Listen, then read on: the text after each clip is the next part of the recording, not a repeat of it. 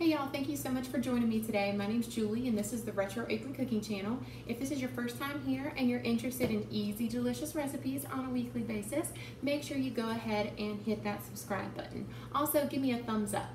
Today I'm gonna show y'all how to make cookies and cream cheesecake bars.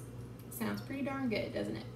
In my bowl, I have one pound or right about 28 I almost said oatmeal cookies, not oatmeal cookies, Oreo cookies.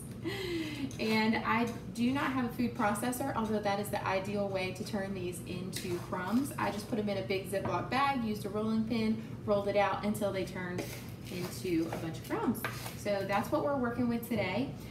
Right here, I am melting four tablespoons of butter and it is ready. So we're gonna cut that off.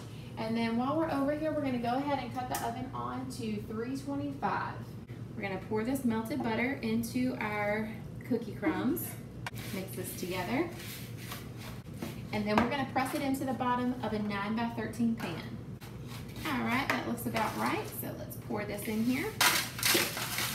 Get this spread out with the spoon, and then we're gonna use our fingers. Perfect. Now that we have these evenly distributed throughout the bottom of the pan, we're gonna put it in the oven for 10 minutes and let that bake. While our crust is baking, we are gonna fix the filling. In my bowl, I already have three eight ounce containers of softened cream cheese, and I'm gonna add three quarter cup of granulated sugar. We're gonna mix this for about, I don't know, a minute or two until it's very smooth. Now that we have that whipped into beautiful creaminess, we're gonna add three quarter cup of sour cream, a little bit of vanilla, about a half a teaspoon of salt, and we're gonna mix this for another 30 seconds. Now we're gonna add three eggs. We're gonna add them one at a time, mixing in between each egg. Now we're just gonna scrape around the edges and we are going to crumble up some more Oreos, just big chunks for in our mixture. oh, it's gonna be so good. Y'all need this in your life, I promise. All right, our crust is ready to come out. Now we're gonna pour our mixture over our crust. I'm gonna take four more Oreos and just sprinkle them over the top.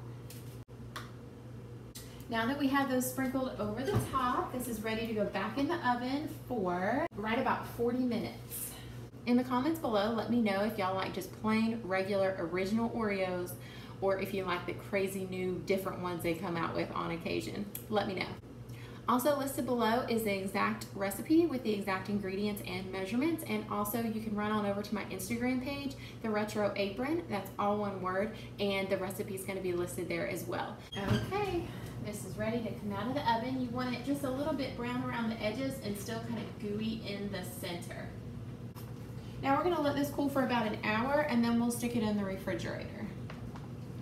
I just got this out of the refrigerator and it's ideal if you can just leave it in overnight, but I cannot wait until tomorrow to try this.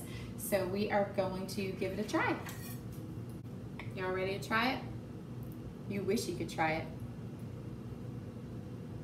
This is worth every single calorie that's in there. This is amazing. Another really good way to fix this recipe, you can make it in little cupcakes so that they're individualized instead of having the big pan.